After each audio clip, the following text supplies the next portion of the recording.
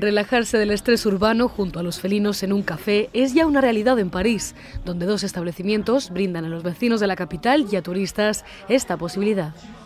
La moda de los cafés con gatos, que se inició en los países asiáticos, se ha popularizado en la ciudad del Sena, gracias a los poderes curativos y tranquilizadores que se atribuyen a los felinos. Vienen jóvenes estresados que salen de sus clases o del trabajo para relajarse porque el ronroneo de los gatos está científicamente probado que tiene propiedades relajantes.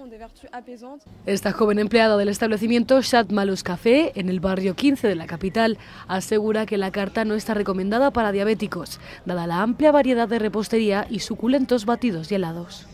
Además de los parisinos, este tipo de cafés que adquieren con el tiempo un olor asociado a los felinos, lo visitan también turistas de distintas nacionalidades, todos ellos curiosos por conocer la sensación de degustar una bebida rodeada de gatos. Mientras los auténticos protagonistas del local campan a sus anchas y duermen entre los clientes en el acogedor local repleto de ventanas.